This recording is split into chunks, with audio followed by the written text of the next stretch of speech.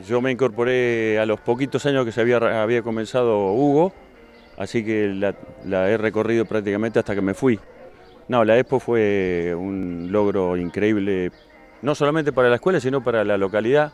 Evidentemente a partir de la Expo la escuela recuerdo que fue creciendo sustancialmente año a año, porque inicialmente cuando Liliana llegó inclusive la escuela contaba con no tanta matrícula y después fue creciendo enormemente y ya nos damos cuenta en este momento que no venimos tan seguido por cuestiones de trabajo y eso, pero vemos que hay una, un movimiento enorme, la verdad que es para felicitarlos, realmente está muy lindo todo. ¿Y cómo se ha potenciado año tras año? ¿no? Digo, desde los dirigentes, los profesores y los propios alumnos, ¿no? que, que le ponen la impronta. Por supuesto, por supuesto, es una cosa muy cautivante, ellos lo disfrutan mucho y, y además le sacan mucho provecho. Bueno, vos fuiste alumno, así que te recordarás eso. Eh, la contabilidad no es, no es, una cosa muy agradable para muchos de los chicos, en principio. Después le van tomando gustito y con la Expo fue el broche de oro para que cada alumno que termina, tengo cantidad de anécdotas con, con hoy que son profesionales. Andrea, por ejemplo, bueno, que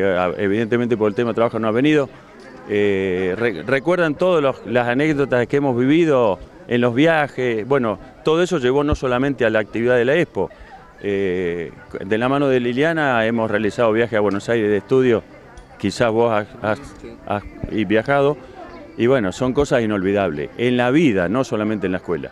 Y creo, que, y creo, que, hoy estás cosechando un poco de eso, ¿no? Digo, más allá de, del conocimiento, son las amistades, esto de poder encontrarte con colegas, tal vez tuyos, ya que con el paso del tiempo. Por supuesto, por supuesto, no, esto es, eh, es un lugar muy agradable para venir, o sea, te, de, deberíamos venir más seguido, porque es un alimento al alma, la verdad.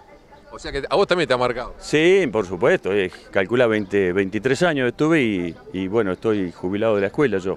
Así que evidentemente ha sido trascendente la invitación de la ex directora Cora Morales en su momento para que me integre al, al plantel de docentes. ¿Vas a recorrer cuando tengas un poquito de tiempo todos están? Y por supuesto que sí, no en este momento porque debería ir a trabajar, pero en la tarde suelo venir siempre una horita, un rato, como para molestarlos un poco a los chicos.